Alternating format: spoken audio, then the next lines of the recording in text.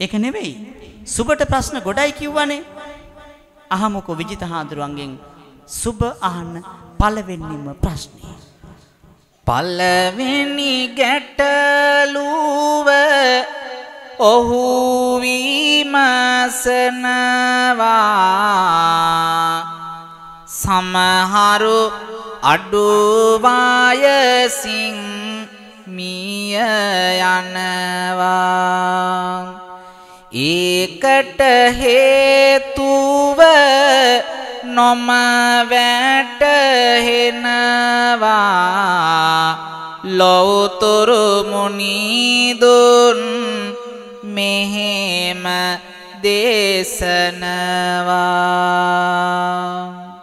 මානවකය මේ උපදෙස් ඇහෙනවද?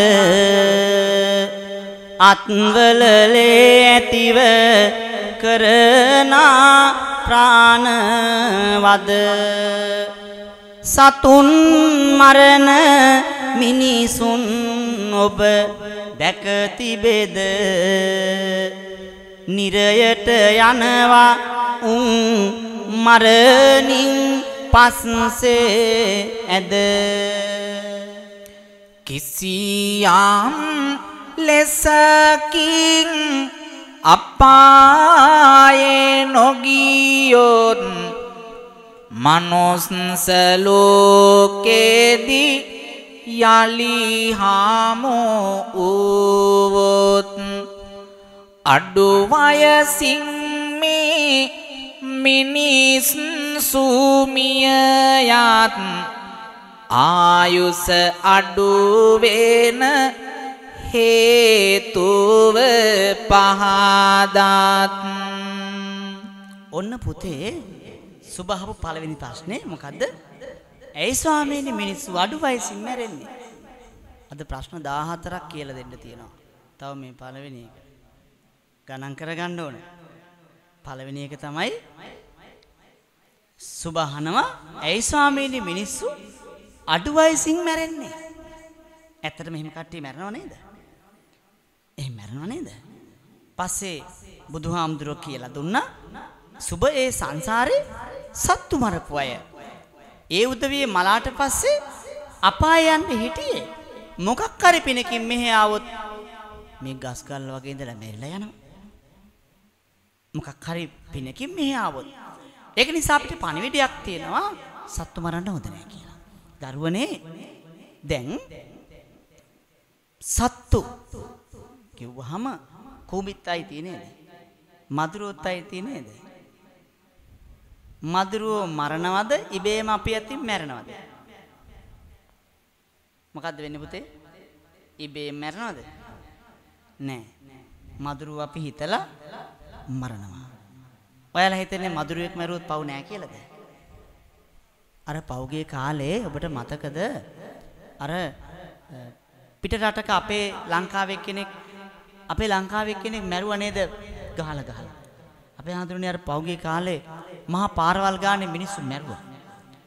ඒ මිනි දැක්ක ගමන් පින්වත්නි මට හිතුනේ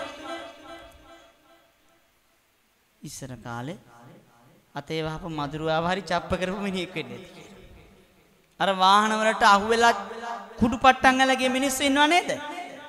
අර මදුරුවා අතේ වහපුවම අත තියලා ඇදලා දානව නේද? හිතන්න එපා මේ විහිළු කතා කියලා. ඒකයි කියන්නේ මధుරයෙක්වත් මරන්න එපා කියලා. මොකද හැම සතෙකුටම තියෙන්නේ ජීවිතයක්. දැන් මිනිස්සු නම් කියනවා ඉතින් කැරපොත්තු මරන්න නැතුව කොහොමද ගෙදර ඉන්නේ? ඉතින් මීයෝ මරන්න නැතුව කොහොමද අපි ජීවත් වෙන්නේ?